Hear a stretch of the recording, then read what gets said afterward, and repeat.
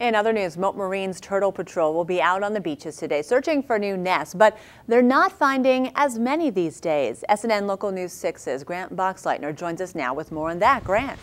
Well, that's right, Kathy. They've only found about 15 of these nests in the last week, but more than 1,200 so far this season.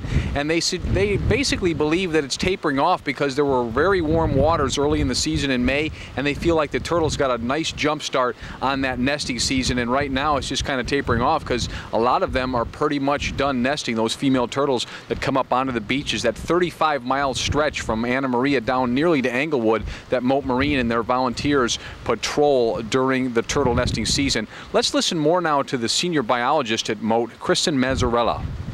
Our numbers are really looking good. We have higher numbers than last year and probably the best season since 2001. So we're at about 1,235 nests right now, which is really good.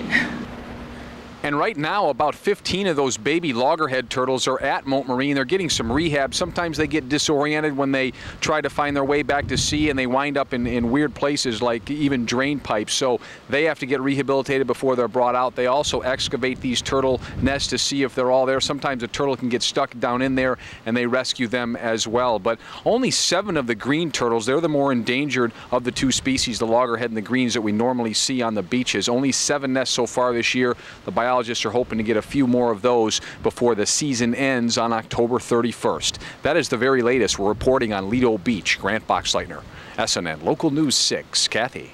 Thanks so much, Grant.